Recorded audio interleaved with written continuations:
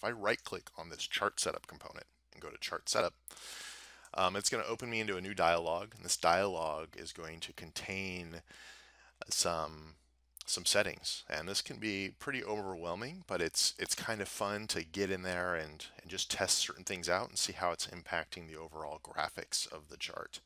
The first component of this menu is that we have chart type so if we wanted to make this a bar chart for example it would reorient everything to be kind of bar chart centric. We'll stick with column charts for right now. Um, some of these options are not yet complete, so uh, for right now, the most resolved kind of chart type is this column chart, and the bar chart behind that, and then line chart is the, the least resolved. So you can expect this to evolve in future releases. But if I go in and start adjusting the chart title, you can see that that chart title is now growing and shrinking. Um, I can increase or decrease the padding around that chart title. I could choose to display it or not in these options. Category title, you know, again, it kind of lets me, you know, scale those appropriately. Um, if I go in and change the padding, again, it's you know, allowing me to you know, adjust the spacing around that, those values. Labels are the ones that we really need to clean up, right? So I might want to make those really small. Um, the other thing that's really useful here is to actually rotate them, right? So if I you know, scale them to the appropriate size and then rotate them, we can start to uh, see what they're aligned with. A maybe perfectly vertical there, we can see that each of these categories is aligned with a specific bar. Uh, group spacing, you know, we might want to have a little bit of spacing between those columns, right? So they're, they don't look like they're all connected as one kind of mass. We actually want them to look distinct from each other. We can also adjust um, things like uh, you know, value title, right? If we want that to be bigger or smaller. We might want to show tick marks, right? We want to show tick marks off to the side here to indicate what what they're what they're actually referring to. Um, we're going to want to change the the rounding here, and maybe we want to make a tick frequency of like 0.25, for example, just so we can kind of see we can start to see those those ticks now coming up. Um, and there's labels, right? So we can actually start to see the, the labeling of those ticks. Label rotation, if we want them to be kind of rotated horizontally, for example. We can increase the tick length. So if we want to kind of see those, those, those ticks very clearly there, we can do that. Um, one of the things I always like to do with charts like this is increase the data labels or add the data labels in, which are the labels that might exist at the top of our chart.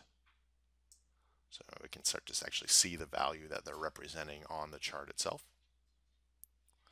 And then I'm just going to exit out of that, that settings dialog and um, I can go back and start to um, realign the kind of available space and real estate. You know, I want to make this chart a little bit bigger at the bottom uh, so I can start to adjust the tiling. Um, I can start to adjust things like the padding just so it's kind of formatted the way I want on screen.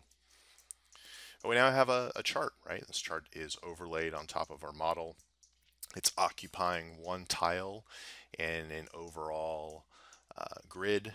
We're then projecting that chart to the viewport. This is like the most basic setup you could you could get with with Conduit. Um, all of the kind of components follow a very similar logic. Uh, the charting component, like we're seeing here for bar charts, is one of the more uh, expansive um, and complex uh, components that are available there in terms of how you can start to style and really modify some of these different uh, settings of the chart. Um, if I go into the Proving Ground tab and look at the heads up display, you can see that we've got uh, you know charts for all sorts of things. We got pie charts, bubble charts, and this this single chart component um, kind of encompasses line charts, bar charts, and column charts. So I hope this gives you enough to you know, start to dig in a little bit more. Um, and, and kind of understand the basic setup of Conduit.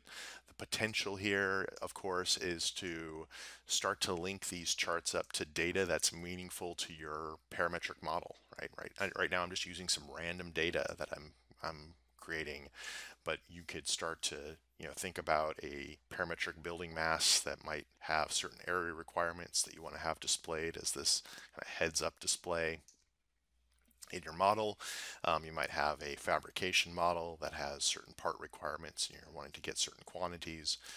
Um, so the sky's the limit and you know we hope that you know you start to, to dig in and, and start to enjoy Conduit. Uh, it's an open source product. Um, feel free to reach out if you have any questions or thoughts on future uh, on future features.